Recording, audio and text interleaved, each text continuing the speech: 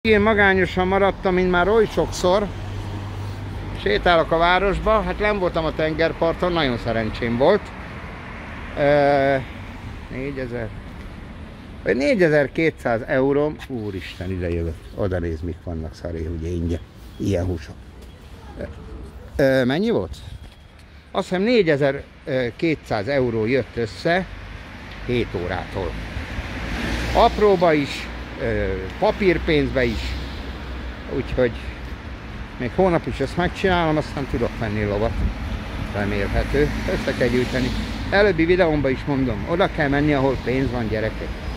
Otthon, had valaki jó lelkű, mert jó lelkűek, de nincs pénz, de legyen ad 5 forintot, itt ad 500 eurót, de adjon 50 eurót. 10 ember az már 500.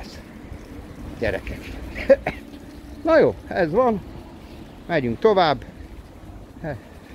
Még arra is sírok egy kicsit, hát ha valami. El kell keresni itt a Otthon aztán csak a kiadás. Ott bevételem nekem Magyarországon nincs. Ezt így a napnak is köszönöm, közölhetem. Nincs. Kiadásom viszont rengeteg.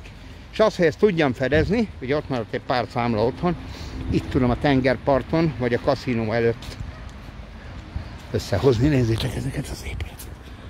Nézd meg ezeket az épületeket.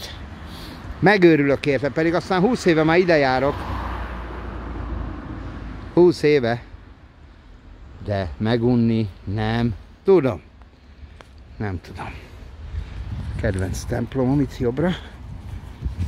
Nagyon szép minden. Ezek a Normandiák. Ő mögöttem a tengerpart 400 méterre van. Max. A utca végén is volt hotel, amiben laktunk. Ez most ez a Hotel Brit.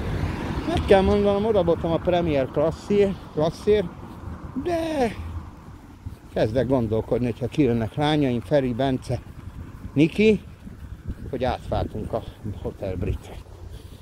Jó, hát azért recepciós hölgye jóba is kellett lennem egy kicsikét, hogy valami komoly jó árat mondjon.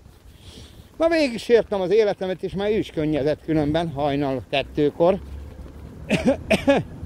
Tehát úgy néz ki, hogy egy éjszakám el van engedve.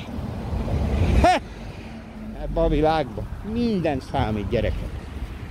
Ez is istáló különben, csak mondom. Na lerakom. Megyünk Árver és Sarnok, itt van mindjárt.